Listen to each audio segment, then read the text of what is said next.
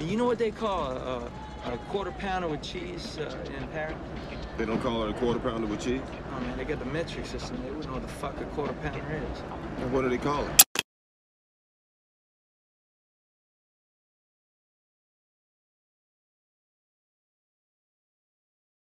They call it Royale with cheese. Royale with cheese.